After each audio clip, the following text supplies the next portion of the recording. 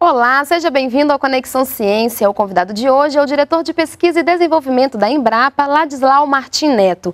Obrigada pela presença, Ladislau. Eu que agradeço a oportunidade de estar aqui no Conexão Ciência. Vamos conversar daqui a pouco sobre a gestão de pesquisa e desenvolvimento. Fique conosco, o Conexão Ciência está no ar.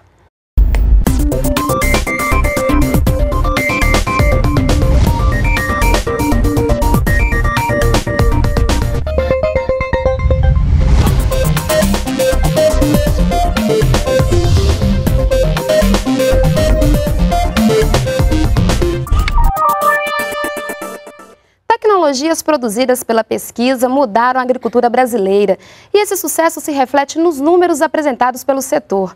Segundo dados do IBGE, em 40 anos a produção de grãos aumentou cerca de 300% e o ganho na produtividade foi de quase 160%. A gestão da pesquisa no setor público foi fundamental para a conquista desses resultados. Adislau, então, diante né, desses resultados, desses números que eu acabei de falar, qual que seria a diferença entre produção e produtividade? É, a produção é o valor bruto, né? A gente partiu, por exemplo, de uma base de 50 milhões de hectares na década de 90, de grãos, por exemplo, e hoje estamos na faixa de 185 milhões de toneladas de grãos na safra passada. É, a produtividade é o que a gente tira da, de uma determinada área. É, por exemplo, se a gente divide pela área que a gente utilizava nos anos 90, é, daria um pouco mais de mil quilos, né, um pouco mais de uma tonelada é, de grãos por por uma determinada área, por exemplo, por hectare, que é, dois, que é 10 mil metros quadrados. Hoje a gente tira mais de 3 mil quilos ou 3 toneladas por hectare em média é, de grãos. Então, isso é a produtividade, quer dizer, quanto é, você produz numa mesma área, quanto evoluiu. Isso se deve à pesquisa, à inovação incorporada numa determinada semente, num determinado manejo, que evoluiu para uma, para uma produção maior com maior produtividade também. Uhum, então, produtividade tem a ver com qualidade. Exatamente, com manejo, como a gente está tá usando a evolução né, da, das tecnologias para poder é, é, produzir mais na mesma área. Esse é o futuro e está associado com o chamado desenvolvimento sustentável. Uhum. Agora, em relação à gestão da pesquisa, né, o que, que significa gerenciar uma pesquisa? Então, gerenciar a pesquisa é fazer de, desse é, série de desafios, de oportunidades que um setor é, tem, qual é a melhor forma para você fazer opções e fazer a gestão dessa carteira, por exemplo, de projetos de pesquisa, é, de você obter resultados com mais rapidez, poder impactar mais decisivamente o setor produtivo, tudo dentro de um contexto de melhoria de qualidade, como a gente falou. Então, fazer a gestão é você organizar a produção da, da, da sua pesquisa, tá certo? Uhum. E como todo sistema de, de produção, os ingredientes são fundamentais, né? Então, só se faz boa pesquisa, pesquisa de qualidade, se você tem bons ingredientes, ou, se você, ou seja, você ter, tem que ter recursos humanos qualificados, no caso, é, se for falando de pesquisadores, pesquisadores com a melhor formação possível, uhum. se você tem, tem que ter campos experimentais, laboratórios, equipamentos e toda uma um, conjunto de acessórios para que você viabilize, né, a partir desses ingredientes, a ter uma boa agenda, uma agenda de sucesso é, na pesquisa. E como é que é definido um tema né, é, prioritário para a pesquisa? Então, é, você tem, é, é, desde a própria iniciativa do pesquisador, o pesquisador, por, por pela própria é, concepção, pela própria formação, treinamento que ele tem, ele tem que estar tá se antecipando e vislumbrando o que teremos no futuro. Então, ele pode estar tá propondo iniciativas que venham a melhorar um, um modo de produção, ou determinada é, sistemática de análise, etc. Mas também a gente tem, o, o, particularmente no caso, por exemplo, da pesquisa agropecuária e de uma empresa como a, a empresa a Embrapa, que tem toda uma associação com o setor produtivo, você tem as chamadas demanda e aqueles problemas do, sistema produtivo. Então, se surge uma nova praga ou se você tem uma dificuldade no sistema de produção, isso é uma demanda que a, a a, a, equipe gestora da empresa vai analisar como possibilidade de estar tá lançando alternativas né, da pesquisa para poder corrigir ou melhorar o desempenho. Então, você pode atuar por demanda, você pode uh, atuar por iniciativas do próprio pesquisador e, no caso da Embrapa, a gente sempre trabalhou com aquilo que a gente chama de planejamento estratégico, inteligência estratégica, trabalhando com cenários futuros de forma sistematizada e nos propiciando a oportunidade de fazer escolhas. É, hoje, por exemplo, a gente está vendo esse momento das questões ambientais, dos impactos das, uh, climáticos ou das mudanças climáticas. Isso é um cenário que a Embrapa já vem de alguns anos uhum. se debruçando e procurando se antecipar para desenvolver espécies mais resistentes, por exemplo, à seca, ou a que possa suportar alagamentos, ou que possa ser resistente a determinadas pragas. Isso é, é, é o formato para você se antecipar, se organizar e poder ter resultados é, eficazes. Uhum. E essas demandas também elas podem surgir não apenas do setor produtivo, mas também da própria sociedade, do próprio governo. Essas demandas também podem surgir de outros setores? Sem dúvida. Hoje, é, é, esse é um dos desafios né, para a gestão do, do, de uma carteira, de uma gestão de uma empresa como a Embrapa, é, é as possibilidades de demandas. É, logicamente, a gente tem que estar atendendo às políticas de governo. Isso, na prática, surge como uma demanda de governo, né, que faz também toda a sua o seu alinhamento estratégico e toda a sua visão de futuro e coloca para a empresa aquilo que ela entende que seria prioridade. Então, é, na medida que a gente tenha uma agenda, é, a gente vai atacar essa agenda e procurar construir é, os projetos de pesquisa que vão trazer resposta a esses desafios. Uhum. E quando é que um tema ele é considerado estratégico? Então, naturalmente, nesse cenário que a gente está falando de diferentes é, matizes, é, você pode ter um cenário estratégico pela tecnologia. Hoje a gente fala nas chamadas tecnologias convergentes, né, que é o uso é, combinado de biotecnologia, nanotecnologia, tecnologia da informação, ciências cognitivas. Esse contexto de tecnologias, é, tudo indica, né, é, através de, de, estudos existentes, que trarão, estão trazendo impactos consideráveis para a humanidade em geral e para a pesquisa agropecuária também. Então, esse é um tema que a gente tem que estar tá prestando muita atenção para ver o como ele vai afetar, através das inovações que surgirão das chamadas tecnologias convergentes, para o agronegócio nacional. Outras são do ponto de vista, por exemplo, de restrições ou de limitações. É, a gente está vendo cada vez mais a questão é, do uso da água ou da disponibilidade de água é, para a agricultura. 70% é, da água é, potável do mundo é usada para irrigação. Isso é o número médio do, do, planeta.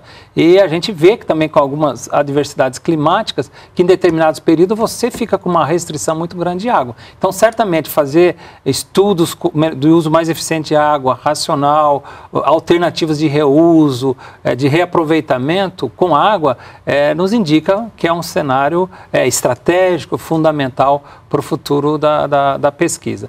E, e, e, quando a gente está falando também de, de, pesquisa, e no caso nosso é, da Embrapa, a atuação do.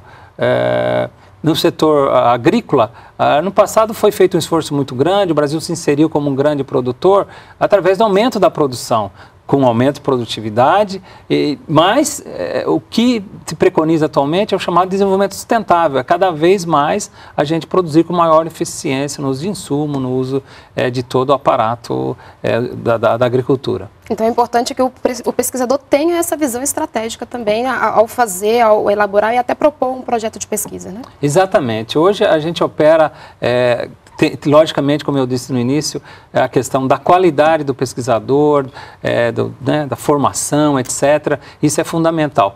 Mas uma mudança importante que, que houve nos anos recentes foi a questão da, da, do trabalho integrado e das pesquisas em redes. Né?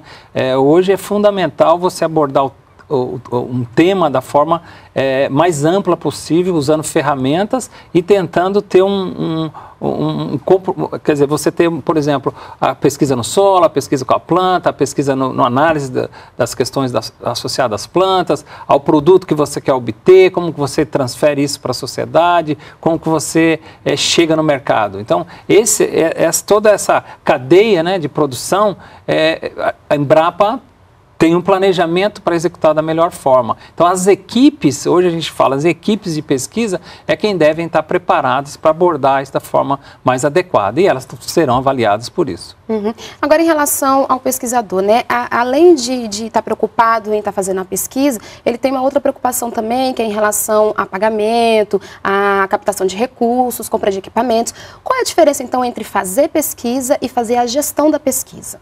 É, como você, você disse, a execução da pesquisa, a execução do experimento em campo, isso em si é a pesquisa, né? A análise do laboratório de determinada é, molécula, determinado componente da, do solo ou da planta, isso é a execução da pesquisa na, na prática, quando você faz uma proposta de projeto, você né, formula suas hipóteses, descreve como você vai executar seus materiais métodos, quais são, qual é a justificativa e quais serão os resultados esperados dessa pesquisa. Você tem um cronograma, você tem os custos associados, você tem que tipo de ferramental você vai precisar. Então, isso é, é em alguma medida, para o pesquisador, uma parte da gestão da, da formulação da pesquisa e depois ele vai gerenciar isso. Quer dizer, ele tem que submeter essa proposta né, para um, ou se é um órgão financiador, ou o próprio sistema de, de financiamento da empresa, né, no caso a, a nossa Embrapa. E, e essa, é, é, do ponto de vista do pesquisador, essa é, é, tem uma componente aí de gestão. Uhum. Logicamente, nós temos uma estrutura é, nas instituições e na nossa em particular que auxilia nessa governança, que dá é, os caminhos para que ele possa ter uma boa, boa condição de, de, trabalho. Mas, sem dúvida, existe desafio. E aí vem uma componente de de, de, disponibilidade de recursos. Né? Se você tem uma, uma, disponibilidade de recursos mais acentuada, isso em alguma medida facilita, na medida que você tem editais, tem oportunidades, que, que o pesquisador com a proposta tem mais chance de ter aquela proposta pro, aprovada. Se você trabalha num cenário com restrição de recursos, ele tem que se, se, empenhar muito mais, gastar maior tempo, aplicar em diferentes é, instituições, eventualmente, para conseguir esse mesmo recurso. Então, isso é, a gente tem que ter clareza, né? Os países desenvolvidos fizeram a trajetória que fizeram, investindo muito em, em educação, em pesquisa, em ciência e inovação.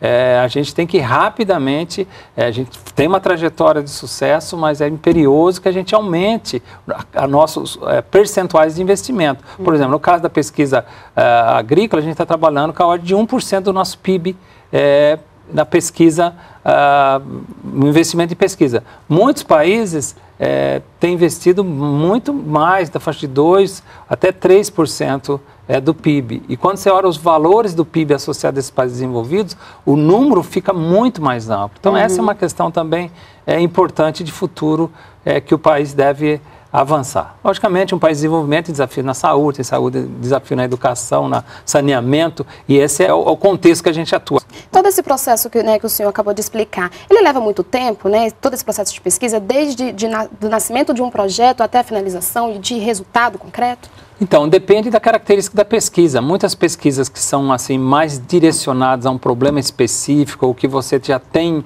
uma, um resultado anterior que te auxilia, a dar um, é, que te apoie para dar espaço é, para atender essa demanda, por exemplo, ela pode ocorrer de forma mais rápida. Na verdade, hoje em dia, isso é crucial, né? Cada vez mais a gente tem que agilizar os processos de geração de resultados. Não só pelo interesse, porque o pesquisador também não trabalha numa seara de isolamento, que não tem outros grupos de pesquisa e outras instituições. É, operando simultaneamente. Então, uhum. a questão da agilidade da pesquisa é fundamental. Então, essa, esse conceito que a pesquisa tem que demorar muito, ela tem que ser muito longa, ela pode ser muito longa, cada vez mais fica pressionada por uma pesquisa de muita agilidade, muita é, qualidade. Então, isso realmente é uma pressão importante. Por outro lado, como você parte de um problema muito complexo, uma pesquisa que a gente chama mais básica do ponto de vista que ela visa resolver uma coisa que não tem antecedentes, que é realmente muito complexo, ou a inserção de uma nova tecnologia que não se tinha é, nenhum paralelo anterior, ela geralmente ela vai levar mais prazo. Até muitas vezes a gente fala que a, essa pesquisa mais rápida, mais incremental, muitas vezes está associado com financiamento de instituições privadas e com interesse muito focado de mercado, etc. E aquela de característica mais básica, mais complexa, de longo prazo, muitas vezes de maior risco, muitas vezes fica como um, um, um desafio para o Estado. E o Estado apoia, é, isso chega lá na frente, depois pode transferir isso, impactar. Na verdade, é uma coisa de estratégia de país, tá uhum. tá certo? Esse é o, o contexto. Não, o senhor colocou é, das instituições privadas, principalmente na questão do financiamento, né? Mas é, como é que elas são, as instituições privadas, elas são inseridas nesse processo de pesquisa pública, por exemplo, o que é feito na Embrapa? Então, cada vez mais é fundamental você estar tá trabalhando num ambiente é, de cooperação público-privada. Né? Nós temos uma empresa, é, a Embrapa é uma instituição pública, mas que claramente visa o quê? Atender os produtores, as associações de produtores, o mercado, que é privado. Então, tra o trabalho integrado é, de uma instituição pública com a iniciativa privada é fundamental, porque no, ao final, o que a empresa pretende é apoiar, gerar desenvolvimento. E esse desenvolvimento, essa situação, vai ocorrer na iniciativa privada. E, então, o setor público tem que dar esse respaldo é, às instituições é, privadas. Qual é a diferença é, é, entre fazer pesquisa numa universidade e fazer pesquisa numa instituição de pesquisa pública como a Embrapa? Então, a questão é a do foco, né? Como uma instituição de pesquisa inovadora, a Embrapa tem um compromisso com um setor específico, a agricultura, a agropecuária, o agronegócio, e ela tem que trabalhar direcionada, a, por exemplo, quando ela foi criada, ela tinha como uma uma meta, um desafio, aumentar a produção de alimentos no Brasil. Então, isso tem um foco muito bem definido e ela teve que executar toda uma agenda para atingir esse objetivo e que o desafio hoje, com sustentabilidade, uma série de novos desafios. Esse é o compromisso dessa empresa, que é um braço tecnológico, por exemplo, do Ministério da Agricultura, Pecuária e Abastecimento e, de certa é, monta, da, da, do próprio setor produtivo brasileiro. É, a questão das universidades, ela tem toda uma, uma, uma, questão da formação de recurso humano, de treinamento, de formação dos pesquisadores, e ela muitas vezes tem se debruçado sobre essa questão das pesquisas mais básicas, extremamente importantes, relevantes, muitas vezes com um grau de complexidade elevado, que carece de um tempo longo de realização. Naturalmente, ela também faz pesquisa aplicada, direcionada para determinados temas, incluindo na agricultura, na saúde, etc. Uhum. Mas esse é o enfoque. O, de uma instituição de pesquisa com as características da Embrapa, ela tem que ser um braço tecnológico é, do setor. Mas a Embrapa também faz pesquisa básica. Exatamente, na nossa formulação, até porque uma depende muito da outra. Não há que se imaginar que somente com a pesquisa aplicada você pode ser bem sucedido. Acho que no passado, acho que a Inglaterra tentou alguns experimentos nessa linha, acho que teve muitos problemas. De fato, você precisa um encadeamento de ações, você precisa muitas vezes se debruçar em problemas que têm grau de complexidade, que carece de uma pesquisa básica para poder chegar a um resultado aplicado. E a Embrapa, na sua organização de pesquisa, tem os chamados centros temáticos, que tem esse compromisso também é, de avanço da fronteira do conhecimento. Eu acho que é muito importante destacar que, na verdade, a Embrapa trabalhou muito sintonizado com as universidades, através de cooperação em pós-graduação, em projetos de pesquisa, nas equipes é, multi-interdisciplinares, multi-institucionais, e hoje ela avança para o chamado unidade mista de pesquisa, que são é, unidades em que a gente tem é, a Embrapa compondo com determinadas universidades em temas desafiadores, portadores de futuro e que ela quer fazer esse trabalho integrado de pesquisa básica e pesquisa aplicada, até para ter um resultado é, de maior é, nível, de maior complexidade. Uhum. E a Embrapa está espalhada é, por, to, por todas as regiões do, do, Brasil, né? Então, como é que é feita essa definição de um centro de pesquisa que está situado no Nordeste, que um, um determinado assunto vai ser tratado de forma local ou de uma perspectiva mais nacional? Como é que é feito isso? Então, é, a, a, nós temos a nossa agenda, nós temos, por exemplo, o nosso plano diretor de empresa, que a gente elenca os grandes objetivos nacionais, os grandes desafios nacionais. E depois você tem é, os chamados é, projetos para competitividade de cadeias, de setores, e aí a componente regional entra forte. Aliás, uma das é, fortalezas de uma empresa como a Embrapa é exatamente estar distribuído ao longo do país, em diferentes locais, atendendo, atendendo diferentes cadeias produtivas com diferentes características. E lógico, a unidade tem a, a, a, possibilidade de estar formulando as suas propostas de pesquisa. Atualmente, a gente está dividindo isso dentro da Embrapa nos chamados portfólios, que são é, temas que a, a, direção maior da empresa define, sinaliza para o seu grupo de pesquisa no país todo, e os arranjos, que são iniciativas tomadas nos locais, não necessariamente numa única unidade, mas num conjunto de unidades, oferecendo aquele tema em função de um cenário identificado na região. Então, é fundamental essa agenda complementar entre o olhar nacional e o olhar local regional é, sem dúvida. Uhum. Agora, voltando um pouco mais para o pesquisador, né? É, a ideia que se tem básica de, de, um trabalho de pesquisador é ele dentro de um laboratório com um microscópio. Né? É muito mais além disso, né? Vai muito mais além então, disso. Então, essa é uma essa cena eh, típica né, de, do pesquisador que, na sua formação, principalmente, passa por muitas horas dentro de um laboratório, num campo experimental, e isso é fato na, da formação do pesquisador. Hoje, fazer pesquisa, e pelas características que você tem de é, cenário cada vez mais com diferentes tecnologias disponíveis, é, com diferentes é, atores, do ponto de vista de tanto competidores ou até colaboradores, ele tem que ter uma visão muito mais holística. E também que para você resolver um determinado problema, ele não passa por uma única especialidade mais, é muito raro. Hoje você precisa estar com uma atuação mais interdisciplinar. Então o trabalho do pesquisador hoje requer essa visão mais holística do ponto de vista da concepção do projeto, do ponto de vista das características dos projetos. A gente vai estar observando o impacto econômico, mas social e ambiental também. Então é um desafio ampliado, não há dúvida. Mas é uma carreira,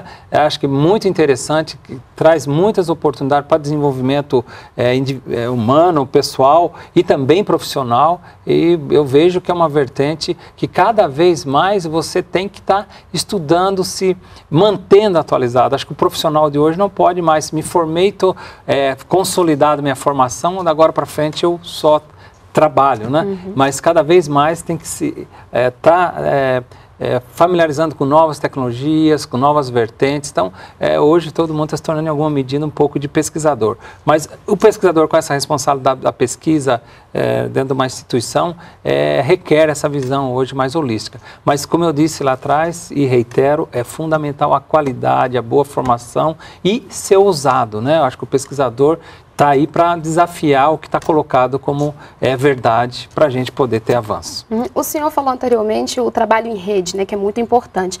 É por que, que é importante? Como é que é feito esse trabalho em rede? Então, o trabalho em rede é importante é, porque você precisa primeiro de é, grupos de pesquisas que, que tenham ah, diferentes, é, o chamado expertise, né, de conhecimentos para acrescentar no, no diagnóstico de um determinado problema para poder aprontar uma solução, uma proposta para resolver aquele problema. Então, cada vez mais, considerando o grau de complexidade da, dos temas e de, do, do, nosso é, envolvimento com sociedade, com questão ambiental, para se fazer uma boa proposta, você precisa de uma equipe, você não precisa, é como a questão de você ter um, um, um grupo de especialistas para avaliar um problema que, que, ainda não se conhece e como que você vai dar solução. Então as equipes são fundamentais e também para você ganhar velocidade nessa integração de atividades. Então você tem que ter agilidade, não é que cada um faz a sua parte, entrega como uma corrida de bastão. E sim, hoje as ações têm que serem desenvolvidas paralelamente para quão mais rápido a gente está podendo superar aquele desafio, entregar aquele resultado e poder ser, ser apropriado pela, eh, pela sociedade. E esse trabalho em rede significa também é, o envolvimento de outros outras instituições que não só pesquisadores da Embrapa. Exatamente, hoje é fundamental e, e muitas vezes essas redes estão com perfis profissionais muito distintos, de diferentes instituições do país e do exterior. Acho que é fundamental você ter essa visão hoje de, de resultado que tenha, é, nasça com a visão global e que muitas vezes possa estar sendo é, utilizado em diferentes regiões. Isso é, é sem dúvida, é, é, o, é, o, que é a tônica do presente. E, e também muito sintonizado com o que a, a sociedade é, possa apropriar, né, a questão de custo do produto, a disponibilidade da tecnologia e a incorporação, para ter essa incorporação efetiva. Então, a integração entre as equipes, o olhar para a sociedade, para tá, o que está se, é, que vai receber esses resultados. E para o futuro, então, o que é que se espera? Então, o futuro é cada vez mais a gente estar tá exercitando com maior é, é, qualidade toda essa, essa, essa agenda de, de tanto na pesquisa quanto no, no, na condução das redes de pesquisa, na, na, no investimento à pesquisa, nas condições de campos experimentais, na incorporação dessas tecnologias mais avançadas. Esse é o futuro. É um futuro que está nos cobrando uma, um esforço muito grande, cada vez maior capacitação, maior integração e de forma a poder é, viver nesse contexto que realmente é extremamente desafiador. Mas desafiador, mas também de muita chance de sucesso. Né? Eu acho que na medida, por exemplo, que o Brasil vem nessa trajetória de algumas áreas de pesquisa com muita é, resultado. Eu acho que a, a, pesquisa, por exemplo, agrícola nos trópicos, isso é uma bandeira muito forte que o Brasil é, pode se orgulhar, né? A gente sair dos patamares de produção aonde nós chegamos e todos os avanços de pesquisa com sustentabilidade. Hoje a gente está falando de sistema integrado, lavoura, pecuária, floresta no mesmo local. Quer dizer, uma intensificação do uso do solo com sustentabilidade, inclusive amenizando a emissão do chamado gases do efeito estufa, né? Quando se imaginaria que estaria sendo contabilizado num sistema de produção. Então, essas são as novas e atuais e futuras vertentes é, da pesquisa em geral, mas particularmente falando da pesquisa agropecuária. Ok, Ladislau, infelizmente nosso tempo acabou. Muito obrigada pela entrevista e até uma próxima oportunidade. Não, eu que agradeço. Muito obrigado, Juliana. E o Conexão Ciência fica por aqui. Você pode conferir na página da EBC na internet os dias e horários das reprises, ou se preferir, na página da Embrapa. Assista ao programa também no canal da NBR no YouTube. Obrigada pela companhia e até a próxima semana.